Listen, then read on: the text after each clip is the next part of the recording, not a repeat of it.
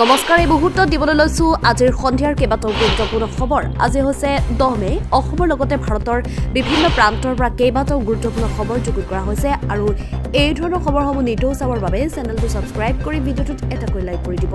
তেন্তে আহক প্ৰিয় দৰ্শকসকল আজিৰ সন্ধিয়াৰ খবৰকেইটা আৰম্ভ কৰোঁ। আজি সন্ধিয়াৰ প্ৰথমটো খবৰ। আজি অসমৰ মুখ্যমন্ত্ৰী হিমন্ত বিশ্ব শৰ্মা চৰকাৰৰ দ্বিতীয় বৰ্ষপতি মঙলবাৰে এই উপলক্ষে পৰৱৰ্তী বৰ্ষত তেওঁ কৰিবলগীয়া কেইবাটাও গুৰুত্বপূৰ্ণ কাৰ্যসূচীৰ বিষয়ে ঘোষণা কৰে।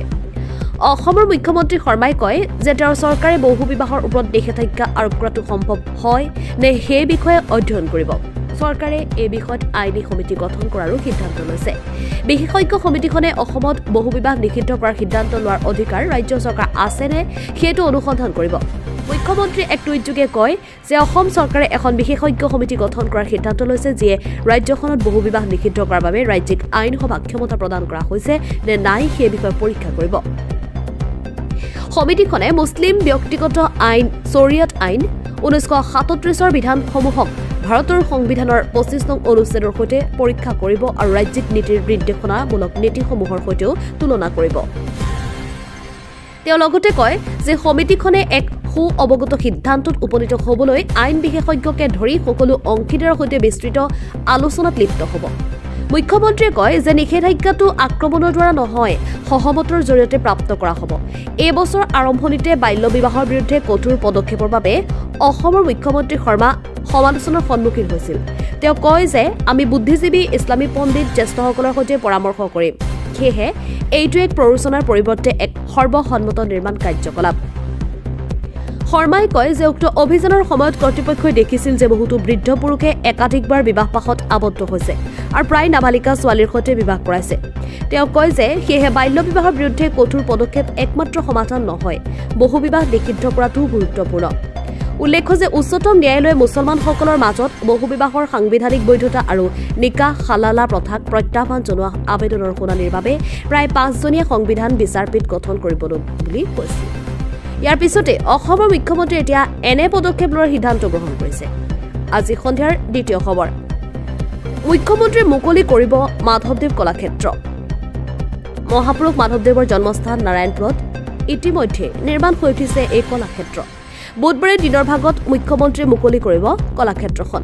মুকলিৰ বাবে সাজু হৈছে কলাক্ষেত্ৰখনৰ দায়িত্বত থকা বিভাগীয় কৰ্তৃপক্ষ।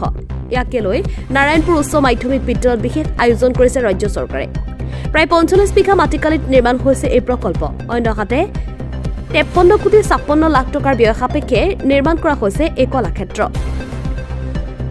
উল্লেখ্য যে কলাক্ষেত্ৰৰ ভূমিদাতা হ'ল শ্ৰী শ্ৰী বদলা পদ্ম আতা সত্ৰৰ প্ৰয়াত সত্ৰাধিকাৰ শ্ৰীকান্ত দেৱগোস্বামী। দুহেজাৰ সাত চনত প্ৰাক্তন মুখ্যমন্ত্ৰী প্ৰয়াত তৰুণ গগৈ স্থাপন কৰিছিল কলাক্ষেত্ৰখনৰ আধাৰশিলা।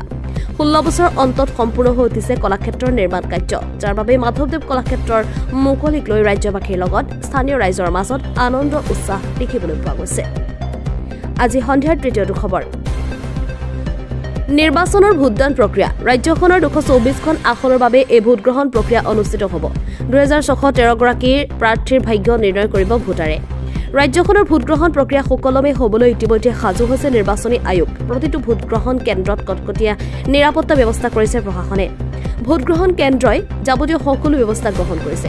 উল্লেখ্য যে এই নিৰ্বাচনত কেইবাটাও স্থানীয় দলে প্ৰতিদ্বন্দ্বিতা আগবঢ়াইছে যদিও মুখ্যতঃ বিজেপি কংগ্ৰেছ আৰু জে ডি এছৰ মাজত তিনিমুখী প্ৰতিযোগিতা হোৱাৰ পৰিলক্ষিত হৈছে। যাৰ ফলাফলে দুহেজাৰ চৌবিছ চনৰ দেশৰ লোকসভা নিৰ্বাচনত প্ৰভাৱ পেলোৱাৰ আশংকা কৰা হৈছে। আজি সন্ধিয়াৰ চতুৰ্থটো খবৰ। সোণাৰীৰ টিঙালিবাম চাহ বাগিচাত অগ্নিকাণ্ড। অগ্নিকাণ্ডত ভস্মীভূত দুখন ব্যৱসায়িক প্ৰতিষ্ঠান। জুইত সম্পূৰ্ণৰূপে জাহ যায় এখন ফাৰ্মাচী আৰু হোটেল। অগ্নিকাণ্ডত প্ৰায় পোন্ধৰ লক্ষাধিক টকাৰ সামগ্ৰীৰ ক্ষতিসাধন। অগ্নিকাণ্ডৰ কাৰণ এই পৰ্যন্ত জানিব পৰা হোৱা নাই। ঘটনাস্থলীত উপস্থিত হয় আৰক্ষী। আৰক্ষীক তদন্তৰ পাছতহে পোহৰলৈ আহিব অগ্নিৰ সূত্ৰপাতৰ কাৰণ। আগবাঢ়িছো আজি সন্ধিয়াৰ পঞ্চমটো খবৰলৈ। বিশ্বকবি ৰবীন্দ্ৰনাথ ঠাকুৰৰ এশ বাষষ্ঠি সংখ্যক জন্মবাৰ্ষিকী কাছাৰ জিলাত বিভিন্ন কাৰ্যসূচীৰ মাধ্যমেৰে উদযাপন কৰা হয়। শিলচৰ চহৰ তাৰাপুৰত পোৱা বিভিন্ন সংগঠন সন্থা শিক্ষা প্ৰতিষ্ঠান আদিয়ে ৰবীন্দ্ৰনাথ ঠাকুৰৰ প্ৰতিমূৰ্তিত শ্ৰদ্ধাঞ্জলি জ্ঞাপন কৰে।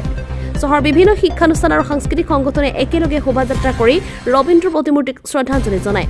নৃত্য গীতৰ জৰিয়তে কবিগুৰুক শ্ৰদ্ধা জনোৱা হয়। ইয়াৰ উপৰিও পুৱাৰে পৰা শিলচৰৰ সন্মিলিত সাংস্কৃতিক মঞ্চই স্থানীয় গান্ধী ভৱনত কবি প্ৰণামৰ আয়োজন কৰে।